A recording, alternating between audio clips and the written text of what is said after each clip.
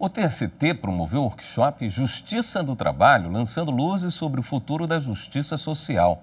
No evento foram apresentadas ações dos tribunais regionais do trabalho de todo o país, envolvendo temas como o trabalho infantil e assédio moral e sexual.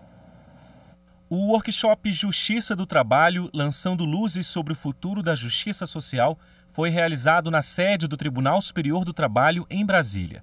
O evento contou com conferência do presidente do TST e do Conselho Superior da Justiça do Trabalho, ministro Emanuel Pereira, que falou sobre iniciativas e perspectivas para renovar a Justiça do Trabalho.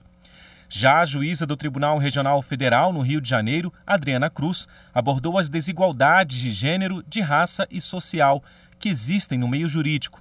A magistrada enfatizou que a justiça do trabalho é a que está mais próxima do dia a dia da população. A advogada Silvia Márcia Nogueira, vice-presidente da Comissão Nacional de Direito do Trabalho, também palestrou no evento, como representante do Conselho Federal da Ordem dos Advogados do Brasil. Eu vim, na verdade, mostrar, participar desse evento grandioso, valorizar o Tribunal Superior do Trabalho, que se propõe a lançar luzes para o futuro dos direitos sociais.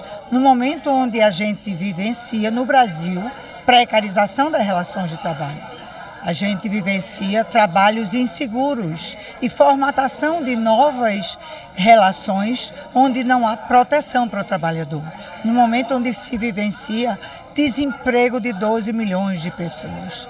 Ou seja, é a justiça do trabalho a, a última porta de garantia dos direitos sociais. O workshop promoveu oficinas temáticas. A oficina 1, Trabalho Infantil e Aprendizagem, foi coordenada pelo ministro Evandro Valadão, coordenador do Programa de Combate ao Trabalho Infantil e de Estímulo à Aprendizagem da Justiça do Trabalho.